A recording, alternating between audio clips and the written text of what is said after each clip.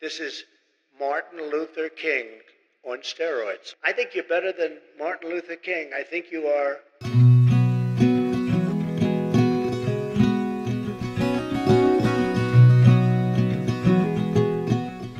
Welcome to PTG TV. This is your host, Antonio Hicks. So, yeah, I'm, I'm back again with another video. I know it's like, oh, you know, you talking about being consistent. I, I know. I, I already know. But, you know, it's, it's like I said before, if you watch my last video, I got a lot going on. Like, I seriously have a lot going on. And just trying to find time and motivation to get everything doing on one side and then get my other stuff as far as my content creation done on this side. So I'm trying to get more consistent about it this week. So this is why this video is going up today. It's going to be another video tomorrow. So I'm trying to get, get at least three videos posted a week, if not four. And got to hold me to it. I want to try. It's to be. It's not to all be all be political stuff. It's to be a mixture of gameplay because I haven't played any games on this channel in a minute. And part of my thing is gaming. It's not about video games all the time, but still, it is part of gaming. A lot of people did follow me from my gaming content and I want to to deliver on that too. So I have been playing Star Wars on my other streams. So if you follow me on my other channel where I'm actually doing live streams, you can watch me play uh, Star Wars. So you know, I am gonna bring some content over here. So, you know, everybody just be patient with me. If you follow me, again, I thank y'all for following me and rocking with me because I do appreciate it because I do have a lot of stuff going on, and you know, it's it's hard. Not even giving no excuses, but I will say it's you know, it, to be successful in this in any form of content creation, you got to be consistent about it. You got to always, regardless, in, regardless of what's going on, you got to always be uploading content. No matter what you have going on in your personal life, no matter what you're doing, if you work a full time job too, because I still work a full time job too, on top of trying to run a business. So it's it's a lot for me, and I do volunteer work too.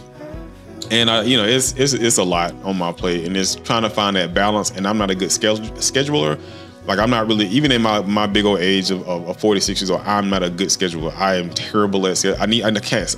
I shouldn't say that, but I want to get better. So as it stands now, I'm not great with it, but I'm getting better at it, and I'm trying to. I'm going to plan to get better at scheduling my stuff and getting stuff recorded and getting stuff edited up and posted on all of my channels and stuff. Because I run every. I'm a one stop shop. I run everything on my side. So with that being said, it's like I know y'all, you know, I know just like me, y'all are getting tired of this whole political commentary. And I'm gonna try to keep this video as short as possible. I generally try to, t- I generally talk over an hour when it comes to my stuff, but I'm gonna try to keep this one like at most 30 minutes. So if I start talking real fast, y'all just bear with me. Pause it, go back on it if you need to, if you miss something that I said because I was talking too fast. But I'm trying to get this one, make it down to 30 minutes. So I know it's, it's, political season, like I just said, and I know y'all getting tired of all the stuff. Like I'm getting tired of like the text messages, especially if you're a volunteer too. So you get the text messages, you get the emails. People are always inviting you out of stuff, and then because you're active in this, you get to see the ignorance and lies on both sides, but generally one side. And I've also started a series too to kind of point out some of the stuff, that some of the lies that people be spreading. So one of the things I hear all the time, I'm not a huge, I'm not a huge super fan of the Democratic Party. Y'all heard me say that, especially since I'm a, I was a former candidate myself too, and I saw the trash they was doing. But I still got to give credit where credit is due. Like generally speaking, when it comes to stuff getting passed, when it's, I don't care what community you're helping out. I don't care if it's LGBTQ rights. I don't care if it's helping out the black community or you know immigrants or you know the minority communities generally speaking, is one side trying to do something more than the other one, and that side is the Democratic Party. Like there's bills and policies that they're actively trying to get pushed, or they they, they need to go to the House Speaker to actually be able to be brought to the floor to be voted on. And so, but the Democratic Party are the ones doing that. The Republicans are not doing that. And I'm like, I've asked people time and time again, they want to argue with me about stuff. I was like, well, show me a policy. And they get annoyed when people say that. But I'm like, show me a policy that actually helps out American people and helps out people in general. And, you know, I'll, I'll back up off of them. I gave them one here in the state of Georgia where they actually tried, they rolled mental health care under actual, um, your healthcare providers. So you no longer have to pay for mental health care treatments out of pocket. It's actually enrolled into your insurance, which is a good thing. And I had to give them credit for that. And I think it's primarily because, you know, a lot of kids in the opioid crisis and the kids out here Xing themselves. I can't say it like that because I don't want to get taken down for me saying the word. So um they um had to pass that to make it easier for average regular people that can't afford, you know, going to a therapist because it is very expensive. I had to pay for I paid for some myself and I had to pay for my kid to go to therapy too during the pandemic. So I started. A, I said it to say I started a, new series, and I mean, it's, you know, I posted when I find. I posted not when I find. So I posted when I have time to to make it. Called "Dim You're Busy," and what "Dim You're Busy" is to highlight some of the things or the policies that's been written down or things that's been signed into place that actually helps out the average American from the Democratic Party, especially when it comes to helping out uh, the, the, black community. And I have to put it like that because I mean, we are the ones that disenfranchised. we are the ones that have policy created against us to prevent us from excelling in this country. So anytime anybody writes a policy or a bill, whether it's been signed off into place, it is something good because it goes to show you that the elected officials trying to work towards you. That's why I started a series up, and I am highlighting the bills that's actually been signed into place by the party versus what's not been done by the other side, which is the Republican Party. Like I got to call a spade a call a spade. I mean, it is what it is. So it showcases that. So in this episode, I'm gonna, I want to talk about you know the sociopath that's running for office right now for the presidency, and the enablers being his voters. Because I can't call them victims because you know generally speaking, when you got somebody following sociopaths, you can say that oh they're a victim or you know enablers, but at this point in time now you can't play victim, and I when I say playing a victim, meaning you can't play victim to them trying to manipulate you because of what they're doing. They're manipulating you to help you have you help them out to get whatever they're trying to get. I don't care if it's money, I don't care if it's power, it's or you know or attention. It's in this case with this fool, it's all of those things. And and the reason I say I can't let them have play the victim is because we all have access to computers, which is another one of my arguments I make to people like we have access to computers in our pocket. So even if you don't have a physical physical desktop computer or a laptop, you still have a phone in your pocket that you can use to look up content and and and and fact check what people are saying. And that's on both sides. Like it's not just primarily for Republicans or it's not primarily just for Democrats. I mean, it's for both sides. I mean, I don't care if it's for school. I don't care if it's for pastors. I mean, your, your, your church. I, you know, I don't care what it is. It's not fact check what people are telling you. Don't just take what people are saying you know, just to take it on a whim, just take it like that because it's what they're giving to you. No, no, you have to validate things and see because they could be wrong, and they don't know that they're wrong because nobody has told them that they're wrong, or they, you know, they generally could be lying to you, which in most cases, and especially this fool, that's what they're doing. He's just blatantly lying to people. So, it, it, you know, that's why I'm like, I can't say that they're they're victims. So as not to get too carried away, let's take a look at the differences in messaging for the two, like between, you know, Harris and between 45, and take a look at some of the bills that uh, the right themselves are taking advantage of due to the Biden administration passing them. And one of those first things is is the Inflation Reduction Act and the Chips and Science Act. And one of the things that agitates me the most with one of these with 45 supporters is is Elon Musk. And the issue I have with him is the fact that he um talked so much about, you know, uh, Vice President Harris being a communist and she wants to, you know, take this country to a place and they're talking about the policies that's written because according to them that, you know, if it's coming under the Biden administration, then she technically is the Biden administration. But I'm like, with the Inflation Reduction Act and the CHIPS and Science Act, he himself alone criticized the administration so much, but he took three billion dollars from the administration because of the act that was put into place. So he got a problem with Biden and he got a problem with VP Harris, who's going to be President Harris. And but yet he has no issue with taking the money from them in administration. So it's just the hypocrisy behind people that that rouse people up on their side and their base and you know they don't even and it's like they put this smoke and mirrors up but they're not telling the people what they're taking on the back end from these very same people they're talking about is bad which is what i hate about the republican party because they'll sit there and they won't vote on they won't vote on policies that the democrats are trying to put out but then once they're passed they'll take advantage of those policies and try to get and they'll not try to they will get money from the government. And then you have this fool himself 45 he's mad about a young lady because she didn't endorse him. And I'm like, what, what? like what type of person are you to where you want all the attention on yourself no matter good or bad? Like no no you know it's all you want all to be good. I can't say good or bad. No you want all of it to be good. So I mean, i'm not talking about in reference to taylor swift. So taylor swift has always been a left leaning Democrat. Like she's always been a left leaning Democrat. I mean, you can't question that. She's always been that. So I had, you know, no doubt in my mind that she would not support the Harris administration. Like she wouldn't support, you know, them running for office. And it wasn't until the DNC was over with and she heard, well, not even the DNC, but the um, actual debate between Harris and 45 that, you know, she endorsed VP uh, Kamala Harris. And I'm like, and then and you knew it was coming. I mean, because she supported Biden. I mean, but and it's like so you knew it was coming. You know, I don't know why she waited so long, but you know, she don't have to come out and, and, and announce anything. But the fact is, like, she did, and in doing so, Orange Man got like pissed off and agitated. But I was like, why would you get mad about something? If you knew that she was going to do that anyway. So he got on, you know, Fox and Friends and he was talking about it and he said it for himself. I was not a Taylor Swift fan. It was just a question of time. She couldn't, uh, you couldn't possibly endorse Biden. You look at Biden, you couldn't possibly endorse him. But she's a very liberal person. She seems to always endorse a Democrat. Uh, and she'll prob- probably pay a price for it at the uh, in the marketplace. But then the very next day that he went, he goes on a rant and he types in all caps, "I hate Taylor Swift." But I'm like, dude, what what are you so mad about when it comes to this individual and who she supports? I'm like, you got Hogan supporting you, and you got Kid Rock. And like I said, I've spoken about this once, but truly, the youth are the deciding factor on elections because they make up the largest number, the largest majority of, of registered voters if they show up to vote. And I think that's what scares the Republicans when it comes to the youth, which is why they truly want to restrict their rights and create uh, content creators to influence them because they want to they want to manipulate these kids that's out there right now.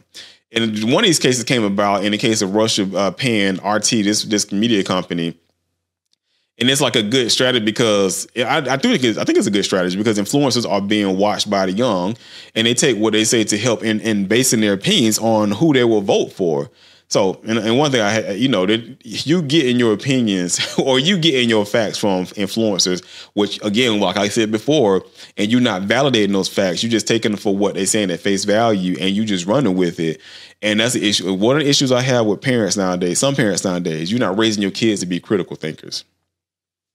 Mean, you're not raising your kids to be critical thinkers. If they gotta, if they're taking what an influencer says and they're not validating what an influencer said to be true, and they're taking it as word is bond, and that's they they're running with that. Mm, yeah, that's kind of on it. Because one thing I taught my kids, no matter if it's coming from me, I told my kids from day one when they got an old enough to think for themselves. I'm like, if I tell you something, and I'm telling you as something as to be a fact, not from this regular parental stuff, but I don't care if it's politics, I don't care if it's, you know, for, you know, religious stuff because we're, you know, we're Christians around here. Or is uh business or you know, whatever. As long as it's not parental of me telling you to do something because it's what you gotta do around the house. Look it up.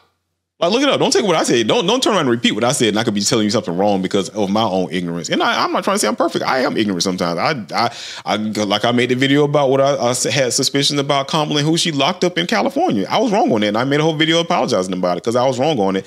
But I did spread some of those that fake stuff around, and I was ignorant to it, and I take ownership of what I was doing. So that's I'm like, don't take what I say as as you know is the the the, the is I'm right itself, but go back and fact check it yourself. But they do this because they're trying to build a strong army of not just the old, but to get the youth so they can fight for them in the years to come. Hence, them you know both being enablers and so-called victims to that sociopath 45 in the Republican Party.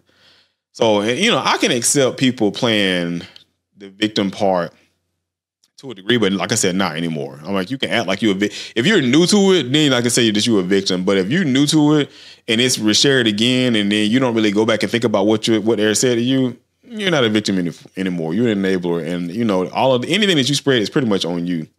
But what I also find interesting is how they play a double standard, accusing Dems of things. Yet when their own party does it, they make an excuse as to it's not what they meant such as you know uh, J.D. Vance comparing 45 to Hitler and saying that he was stoking the fire racism in his country, yet now he's in love and he supports him. And again, it's no he's just an, an opportunity, just like the whole fake. Like they always talk about people, call people on fake news, but this man spread this whole rumor about uh, dogs and cats being eaten by Haitians in in Springfield, Ohio and then come to find out, he admits to Dana Bash on CNN that he was making it all up and he was doing it for attention. If I have to, but it wasn't just a meme create stories so that the American media actually pays attention to the suffering of the American people, then that's what I'm going to do, Dana. So it's like, who is the fake? Who who is the fake news? Like who who is the fake news around here? It's not the Democrats. It's the actual Republicans themselves. And it's like, and, and he's just an opportunist. And I'm like, I've seen, I've, I've met plenty of people like him working in corporate America for all these 20 something years. I've met plenty of people like him, which is why I couldn't do it because I care too much about the people that I manage and don't care too much about the people that I work with to where I'm not going to lie on, on you. I'm not making something up to make you look bad just so I can get ahead. I'm just not doing that. And so these are things that we've always understood about them in the Republican Party as a whole.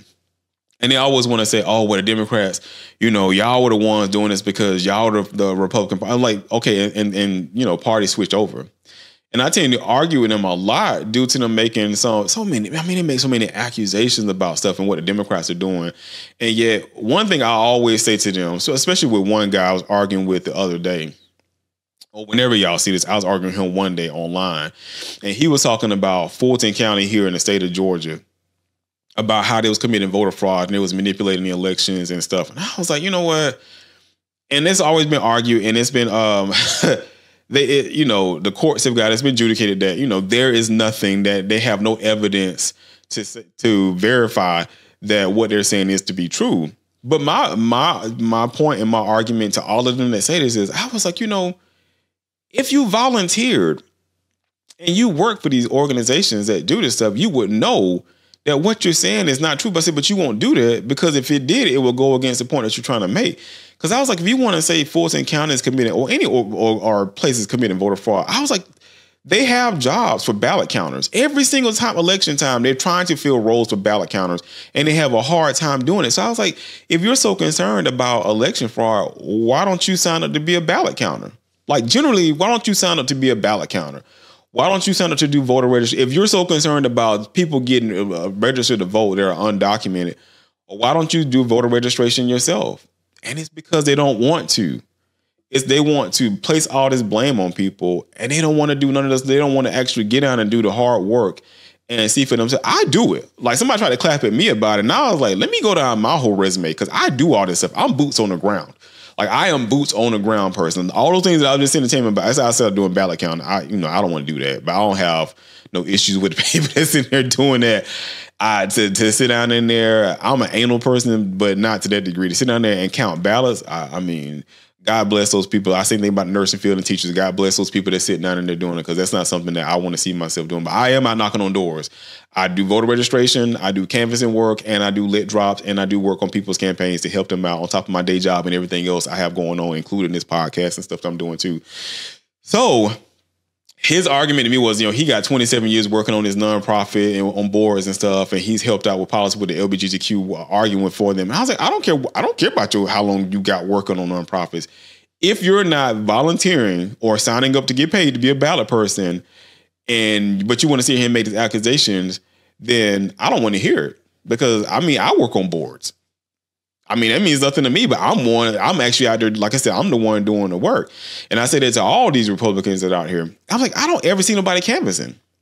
Like, I don't ever see them out canvassing. I see them on the side of roads with, you know, 45 uh, tents and stuff, waving flags and whatnot.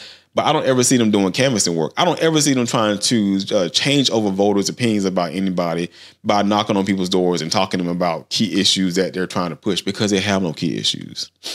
Now, and and all this though, I'm still not saying that the Democratic Party is perfect. I'm not saying if you've heard me go on many rants for those that are OGs to my channel and you've been around for a long time, you've heard me go on a many rants about the party in itself and the shady stuff that they do. So don't even make it seem like you know that I'm saying that we're per- that the Dems are they are not perfect, but we ain't the ones out here accusing people of eating dogs and cats, and we for dog one sure ain't out here talking about people killing babies at the ninth month because they're so embarrassed by it in Springfield, they're eating the dogs, the people that came in. They're eating the cats. They're eating, they're eating the pets of the people that live there. Control. We think we have it very well under control. We pretty much shut it down. A lot of people think that goes away in April with the heat. We're in very good shape. I think it's going to work out fine. Very well under control in our country. So, anyways, let's let's look at. We just looked at one side. And let's talk about the stark difference between his side, the Republican side, and the 45 side, versus the Harrison and, and the Democratic side of the party, and how she interacts with people. Because this dude won't even come down to get close to hardly any babies. And it, I mean, and, and he's hard pressed to do that because he's going on rants the whole time. Like all of his rallies, he's going on all these long, tangent, hateful rants and talking about people. And I'm just like, but but her, at least she's staying true to point. She's staying true to the message. She's staying true to actually trying to care about people. That's what she's saying. And I'm not saying that what she says she's going to actually pass and do, but there's a difference in convincing people to vote out of love and out of compassion versus out of fear. And they were doing that with Biden, which is why I, was like, I will go down with the sinking ship by not voting for him. Like I'm gonna be the guy on the Titanic playing the violin, going down, just gonna drown with everybody because I'm like, I am not voting for that fool.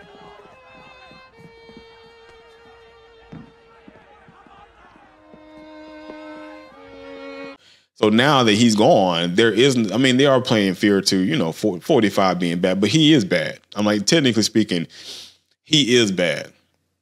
And so that's why I'm like, when I talk about uh, key issues too, I'm like, look at the bills that's trying to get passed. Like there, there's a bill now that was written by, and I, tell, I wrote about it before, but it, it's um, the the Black Wealth Agenda, and I forget the young lady's name. I'll, I'll put it down below. But I talked about her in my damn you one of my damn you busy episodes, and you have to look at the messaging that's coming from Harris and what she's trying to do to combine us back together and to get us past this device this divisiveness and to get away from identity politics and get back into helping each other out because that's what we have to do. That's why I was raised, and I was raised in the racist South. Like I've come from South South Georgia. I was raised in the racist South, and even being raised in that, my grandparents, my parents always said, you know, you still got to watch out for people and watch out of your own, watch how they treat your people but we also have to work together because we have to work together for the work together for the benefit of our community, for the benefit of our state, and for the benefit of our country, and for us to be able to collectively work together as a benefit of the species as a whole for the human species. And in order for us to do that, we have to get past race, politics, religion, and things of that nature. But and that's what this campaign has been running on. That's what this campaign has been pushing, and that is the love that that uh, Vice President Harris has been spreading, especially Tim Walz. I mean, he's an average, everyday man that is in office that that is a governor helping his people out. I mean, plain and simple, just helping his people out, and that's what we need in office right now. So, only thing I say, I say all that to say is watch who you um you're supporting, watch who you're voting for, pay attention to policies, pay attention to what they're trying to do. Always look at the bottom line of what they're trying to do. They do for you as an individual. You heard me say this before. Look what they're doing for you as an individual, and then how they're treating other people in other countries, and that's how you determine who you should be supporting. Because 45 don't care about nobody but him. He said he care about you, but he don't care about nobody except because he said he don't he loves the ignorant and uneducated. And he talk always talk about what he's done for the blacks, which he ain't done nothing for the blacks. And then he talked about, you know, how he's gonna make this nation great again. When was it when has it ever been great? I, I mean, we can go down all the time. When has it ever been great? Because it might have been great for one side, but it was not great for everybody as a whole. So thank y'all for tuning in to the episode. I promise you, I'm going to get more consistent. I, I promise you, I can't say when, but I promise you to get more consistent and try to upload. Not try to. I am going to actively upload three to four times a week to get more content out there. So there's political content, there is technology content, and then there's also gaming content that's put out there too. And also, you know, if you all are interested in doing any of these things that I am doing right now, then I have my business engineering tomorrow. Engineering engineering tomorrow, we help to bring the vision from out your head into fruition. And that's through all forms of content creation. I don't care if it's creating ads for your business or you want to record your own podcast or doing any form of content creation, or if you've already recorded the content and you need somebody to edit it up for you, Engineering Tomorrow can be here for you to create your uh, create reels and to create shorts for anybody. Doesn't matter if you're a small business owner or an individual or even a major corporation. That's what we're here for. We also do IT training. We also are getting to uh, cloud engineering. So if you want to transition over from an AWS or you know um, on Azure to get over into Google Cloud production, and or if you want to just get it established in general, we're doing it for you along with doing a data center. So the whole purpose of engineering tomorrow is to be a one-stop shop for all of your content needs. I don't care what organization you're for, I don't care if it's a school, I don't care what it's for, for you to come to us, help you out with training your staff on technology getting you up to speed on the equipment that you're using to record your content or doing your daily day your day-to-day work and or having a place to store your content which is a cloud creation and or your own personal data center. So you have stuff locally and in the cloud. So if you're using like uh, ai stuff it's not pulling you're not storing stuff directly into the cloud itself. It's local based which is in your data center housed within your own business and or your house. And then once all that stuff is done encapsulated then we're taking that content and then we're making ads we're making reels and we're making shorts and we're doing everything we can to make sure your business have all that it needs in any form of content, data storage, and whatever to be successful. And that is engineering tomorrow. We're here for you. So thank you guys for tuning in to this this episode, this week's episode. Love you all. As always, be active, be safe, and I always say, you know, leave take take your three L's every day. Live for today. Laugh about things that you have no control over, and lead in love with your heart. Thank y'all for tuning in this episode. Love you all. Peace.